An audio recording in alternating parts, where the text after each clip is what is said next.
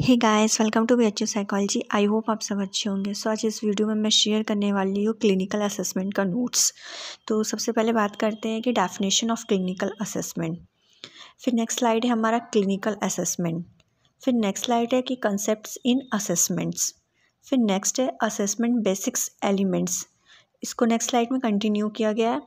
फिर नेक्स्ट है assessing disorder इसको भी नेक्स्ट स्लाइड में कंटिन्यू किया गया है।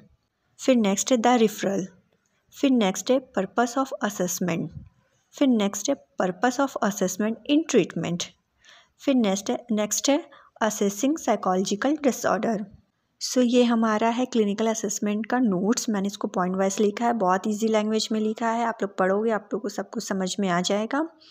एंड आपको अगर किसी भी टॉपिक पर नोट्स चाहिए तो आप मुझे कमेंट करके बता देना, मैं उस पर वीडियो बनाकर डाल दूँगी। अगर आपको वीडियो अच्छी लगी हो तो please like and subscribe my channel thank you for watching